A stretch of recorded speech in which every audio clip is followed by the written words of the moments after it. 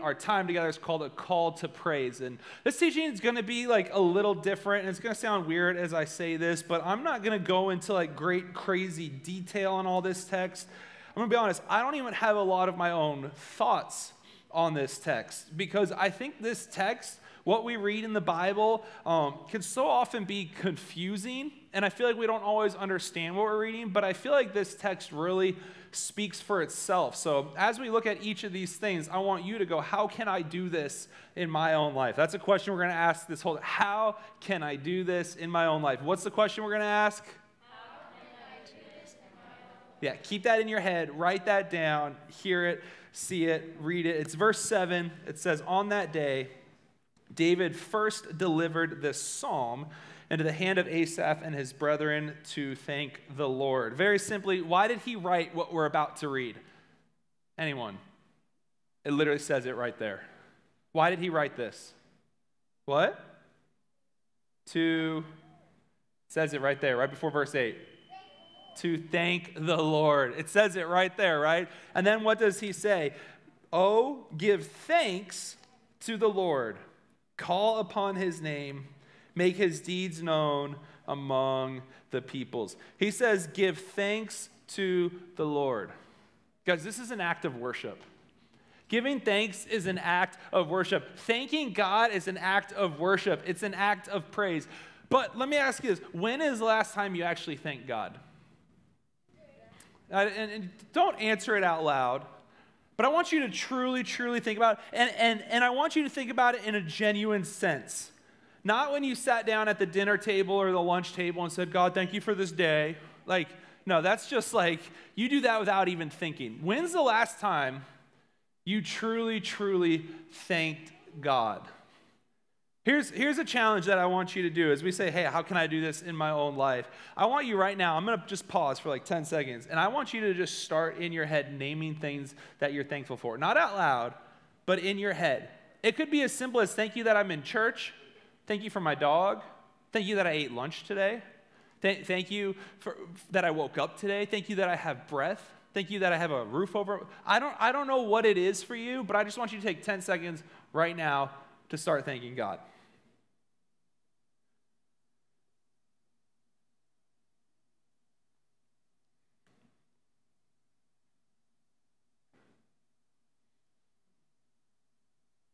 Now, some of you might have seen that that isn't even enough time.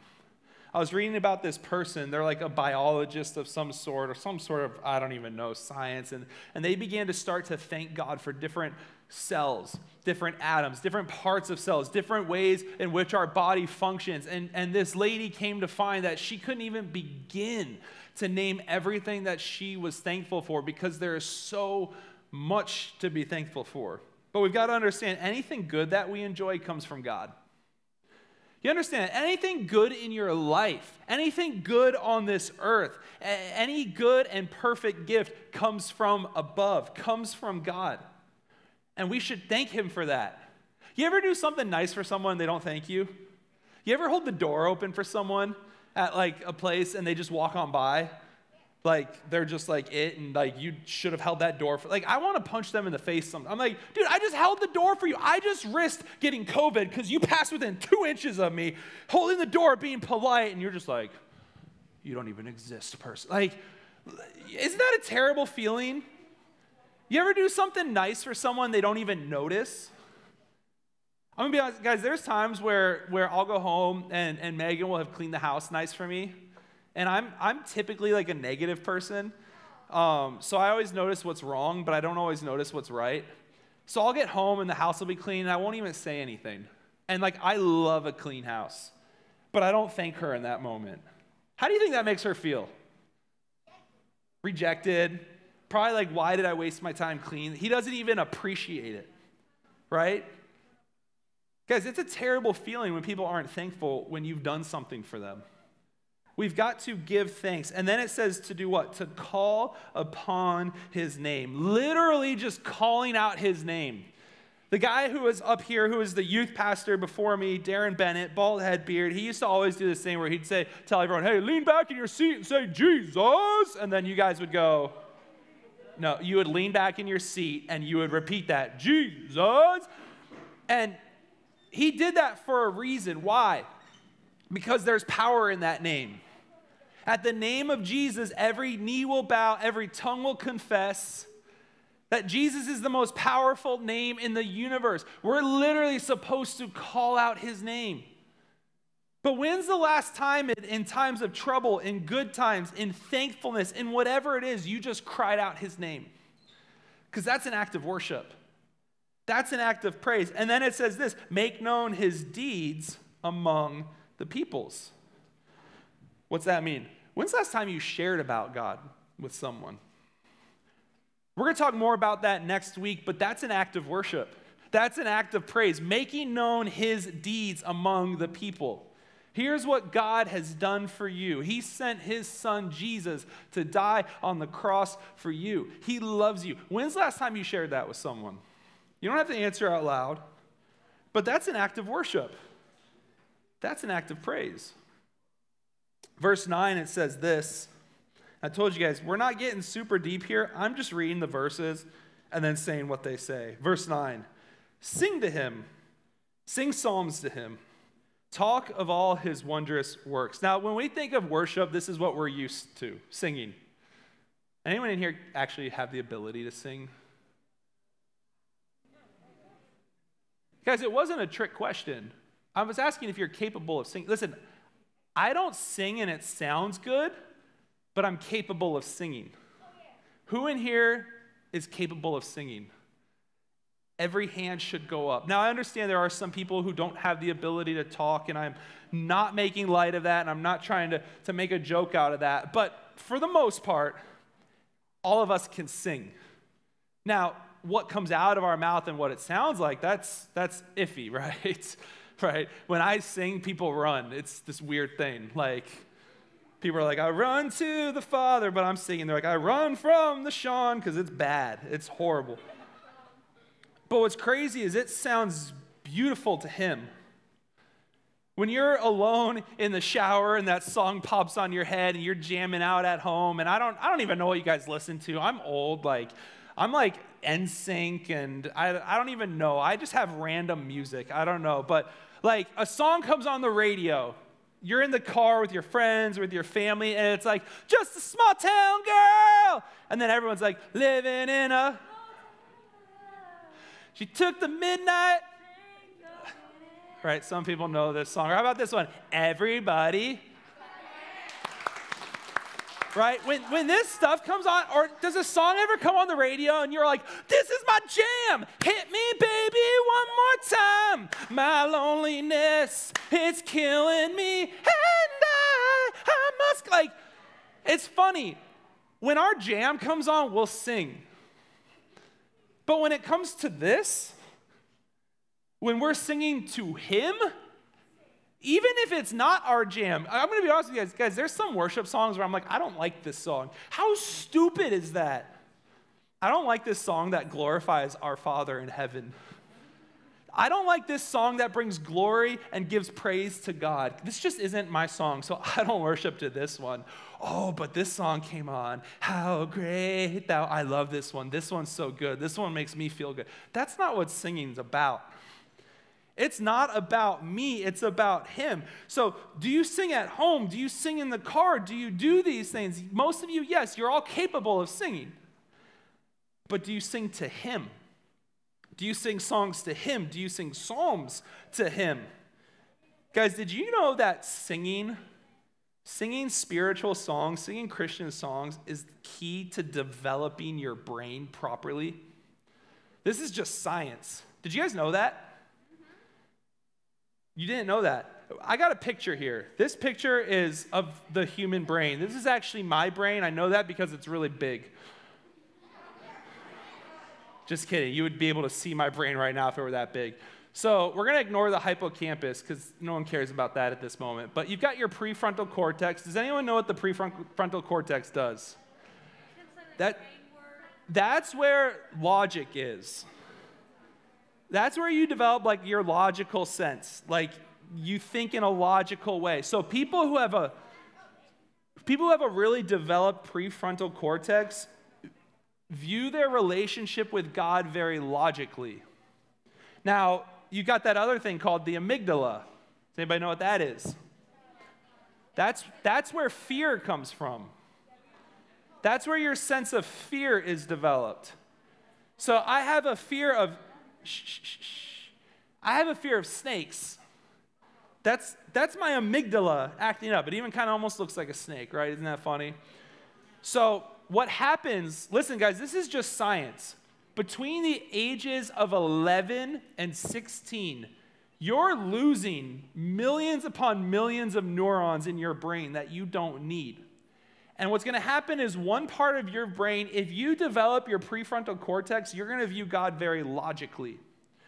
If you develop your amygdala, your faith is going to be based on fear. Maybe it's the fear that you're not good enough. Maybe it's the fear that you're not saved. Maybe it's the fear that how could God ever love me? Or maybe it is just straight up a fear of God. He's this God that I should be afraid of.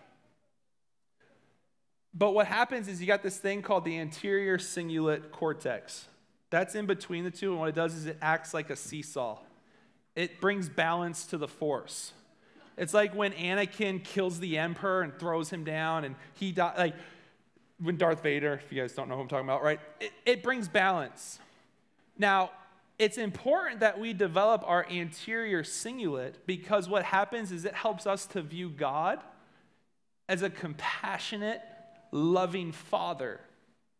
It's not this logic based view of God, but there's logic involved in that because we've developed our prefrontal cortex properly.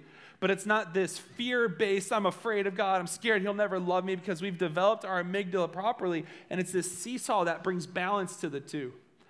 So you view him in the right light. Now, do you guys know how you develop this? Between the ages of 11 and 16 is the most important. 10 minutes a day. That's all it takes. 10 minutes a day of spiritual singing, which for us is worship songs, prayer, and meditation. Now, when I say meditate, I'm not asking you to go home and be like, I am one with Mother Earth. That's weird, okay? Please don't do that. Meditating is, is meditating on scripture. It's reading it and focusing on it. It's, it's when I say, hey, sit and thank God, you can meditate on those things you're thankful for towards God. It's not weird like yoga stuff, like, hey, I want to line my third eye up with the, with the, with the earth. Like, no, please don't do that. But 10 minutes a day of spiritual singing, of prayer and meditation. So here's, here's what we're going to do, guys. Starting Monday night at 8 o'clock on our YouTube channel, we put that up for you. If we can go back to that YouTube slide really quick, um, we're going to just stream 10 minutes of prayer and worship. And all we want you to do the next seven days, starting Monday night at 8 p.m., it's going to stream live on there. Uh, you just go on and you worship. You sing out loud. I don't want you to just watch, but I want you to sing along. Why? Not for me, but for God and for you. Worship is good for you, singing is good for you. We sing songs to Him, we're told to. So every night, starting Monday for seven nights on our YouTube channel, 8 p.m., we're going to do this. And then it says this sing to him, sing songs that, psalms to him. Verse 9 says, talk of all his wondrous works. Do you talk about what God is doing in your life? I want you to seriously think about that for a second. When you go to school, or maybe it's online, or maybe it's when you hang out with your friends, when's the last time you had a conversation with your friends about what God is doing in your life? When's the last time you shared about a work that He's doing in your life? When's the last time you talked with someone about what you're thankful for? Because you notice what it says here. It says, talk of some, talk of a, a few. No, what does it say? Talk of all his wondrous works. So, singing is huge. Coming to church, singing, worshiping, lifting our hands. I hope today, at the end of this time, when we worship and we worship a little longer than usual, that you guys will sing. That you'll sing. But also in small groups, we're going to ask you that question tonight What's God doing in your life? Because we're commanded to talk about this. Why? Guys, because it's encouraging. We talked about this last week. You might be going through something that someone else has already gone through. You could talk about how how God has gotten you through it. You can encourage each other. But it is so, so important that we talk about what God is doing in our lives. Verse 10, we're almost done. It says, Glory in his holy name. Let the hearts of those rejoice who seek the Lord. Seek the Lord in his strength, seek his face evermore. This isn't super profound, but what's it say? Glory in his holy name. We cry glory, we sing glory, we glory in his holy name. Let the hearts of those rejoice who seek the Lord. How do I do this in my own life? Do you guys seek him? Do you on a regular basis seek after God? Are you looking to grow in your relationship with him? I, I want to be careful how I say this, but in some ways, I almost want you to think of God as like your crush. And please, like, I'm not trying to like say he's not holy. I'm not trying to say be weird. I'm not, but, but picture this when you have a crush on someone, you'll do anything you can to try to bump into them maybe to, to, to brush arms with them, maybe to talk to them. You'll try to get their number. You'll try to find out what they think about you. You'll try to text them. You'll, like, like you want to get to know that person. You want that person to notice you. So your waking moments are focused on them. I wonder what she's doing right now. I wonder what he's doing right now. Oh, it's, it's 11 o'clock at night. I'm going to sleep. I bet you he's going to sleep. We have so much in common. This is beautiful. Like, but your waking thoughts are just like with them all the time. Maybe you already have like a boyfriend or girlfriend, right? And you like text them and you're just so eager to see what the response is. You're like, I love you so much, babe. And you're just waiting. You see those three little dots on your screen. You're like, oh, they're typing back. They're, I can't wait to see. I just said I love them. I wonder what they're going to say. And it's like, okay. That, that was your, no. But why is it like we have this like excitement about a random person, but we don't have this excitement about seeking God. Seeking after Him, getting to know Him more, spending time in His Word, spending time talking to Him, spending time singing to Him. Like, that is an amazing thing. That is an act of worship, that is an act of praise. And we rejoice. We seek Him, we seek His strength, we seek His face. We pursue Him. Yes, He pursues us, but we pursue Him as well. And we do that for our whole life. I just went through a season the last like six weeks or so where I just learned so much about myself, but I learned so much about God. And it was a it was a hard season, it was a refining season, but it was so good seeking Him.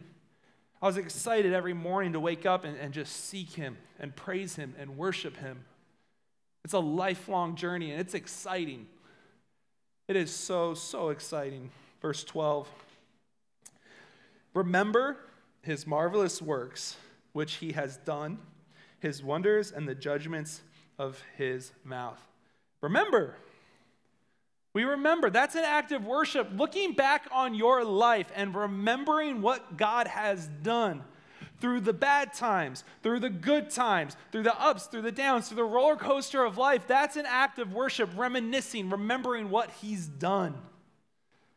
Guys, it's so often the valleys that get us to the mountaintop. And when you look back and you see what God has done in your life to get you where you are today, and knowing that He who was faithful then is still faithful now, that He is the same yesterday, today, and forever, and looking back on those things and remembering them, that's worshiping Him, that's praising Him. So when I look back at when my parents got divorced, and I see what God has done in my life, has done in my own marriage because of that, how serious I am, that that's not even a word in our home. We don't use the D word. Divorce, like that doesn't exist in our marriage. God brought me to this place where I have such a conviction, and such a love for my wife because of what I went through when I was younger. That valley brought me to that mountaintop. Through having an evil stepmom growing up who was emotionally abusive through my mom's breast cancer and melanoma and, and this great valley to seeing God healing her and, and, and using her to reach people who also are going through cancer and supporting them and loving on them. That's a mountain, uh, sorry, a valley that brought her to this mountaintop that grew my faith as well when my grandma died, when my uncle took his life, like these, these valleys, these horrible things. That, that week when my uncle took his life, I got to preach the gospel that weekend in Six78, and we saw over 30 kids receive Christ. So, through one of the hardest seasons of my life, one of the hardest things I ever went through, I look back on, and even though it hurts and it's painful, and I go, 30 souls were added to heaven from that valley. I remember what God has done. I remember how God moves. It says, which he has done. 1 Peter 5 10, it's my life verse. It says, But may the God of all grace, who called us to eternal glory by Christ Jesus, after we have suffered a while, it's after we've suffered, he will perfect, establish, strengthen, and settle us. I love what Romans 5, verses 1 through 5 says. We'll throw them up on the screen. Therefore, having been justified by faith, we have peace with God through our Lord Jesus Christ, through whom also we have access by faith into this grace which we stand and rejoice in what hope of the glory of God. Not only that, but we also glory in tribulations, knowing that tribulation produces perseverance, perseverance, character, and character, what? Hope. Now, hope does not disappoint because the love of God has been poured out in our hearts by the Holy Spirit who was given to us. That's what we have. That's what we remember. We have this hope. We cling to it, knowing that this valley called earth, this valley called life, leads us to eternal glory. And it's not something we hope for, like, oh man, I hope I get this for my birthday, but it's a hope I cling to because I know it will come true. I know that after I've suffered, He'll perfect, establish, strengthen, and settle me. So, what do we remember? What do we reminisce on? We remember the cross, the lowest low in the history of humanity. We remember that Jesus came and, and became a human, left his throne in heaven, came to earth, and died for us that he was brutally beaten, that he was mocked, that he was cursed at, that he was spit on, that he hung there. He did that for us. We remember that because why? Because we have this hope that does not disappoint. We have this hope of eternity. We have this hope of heaven because of what he did. There's this character in the book of Genesis. His name is Joseph. And long story short, if you guys aren't familiar with his story, basically from a young age, he was sold into slavery by his brothers. He was accused uh, uh, of trying to, to rape his boss's wife that he didn't do. He was thrown into prison. Like it was trial after trial after trial for this guy who ends up becoming second in command in all of Egypt. But not only that, at some point down the line, you know who comes from his lineage? This guy named Jesus. Think about that. This guy was sold into slavery, but his life eventually leads to this family. I love how they word it in this thing I read. It says, There was this great famine in the land of Canaan, and Joseph administrated how to deal with food in this size. It says, If he never wisely administrates for the severe famine coming upon the region, then his family back in Canaan perishes from the famine. If his family back in Canaan perishes from the fam- famine, then the Messiah can't come forth from a dead family. If the Messiah can't come forth, then Jesus never came. If Jesus never came, then you are dead in your sins and without hope in this world. We are grateful for God's great and wise plan. That's what we remember. That through all of it, God's got his hand in it. And we worship him and we praise him Verse 13 and 14, we'll close with this. Worship team, you guys can come up. O seed of Israel, his servant, you children of Jacob, his chosen ones. He is the Lord our God.